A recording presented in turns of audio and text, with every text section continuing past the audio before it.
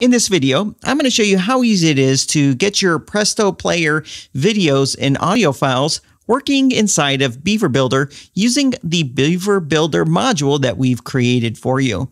The process is so simple. The first thing we need to do is create a video inside of our Media Hub. I'm going to hover over here to where it says Presto Player, and I'm going to click right here where it says Media Hub.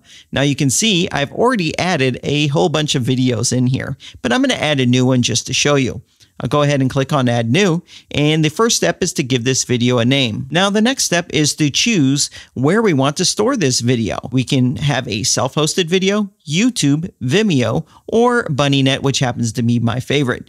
However, for this video, I'm going to choose YouTube. So I'll click right here, and then all I need to do is enter in a URL to one of my YouTube videos, then click on Add Video. And there you can see the video has been added. Now we can take advantage of all of the awesome features that Presto Player gives you that you can apply to this video, including adding chapters, video settings such as muted autoplay, which happens to be my favorite favorite, as well as applying video presets and making custom video presets. So you can set this up however you want it. Don't worry, you can change anything later. So now, once you're done, go ahead and click on Publish, and then click on Publish again, and we have our new video inside of the Media Hub.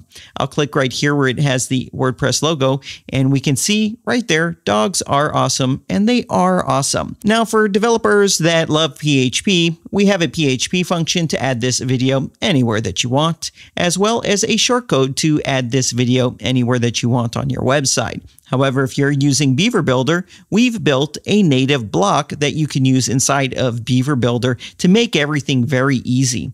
So let's go ahead and jump into Beaver Builder.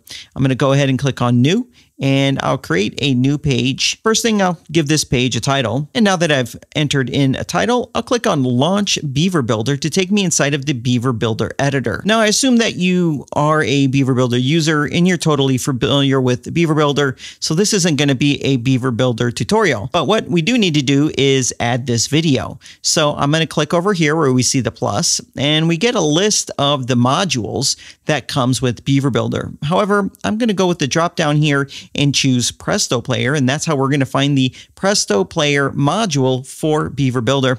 I'll just drag and drop it right here, and then I'll let go.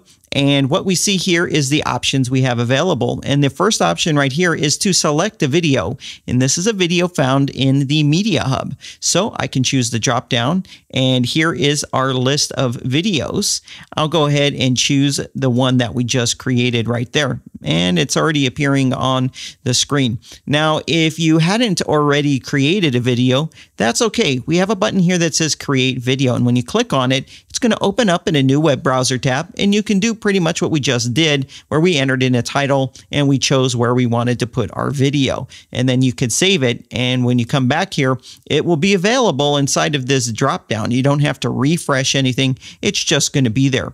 Also, you can edit a video. What would you edit? Usually one of the presets. Maybe you decide you want to have a different style, a different preset or something. So when you click right here on edit video, again, it opens up in a new tab. Here's our video. We can click on it and start changing any of the settings that we want to change. Let's click on this right here. Maybe there's some different settings there. That looks good.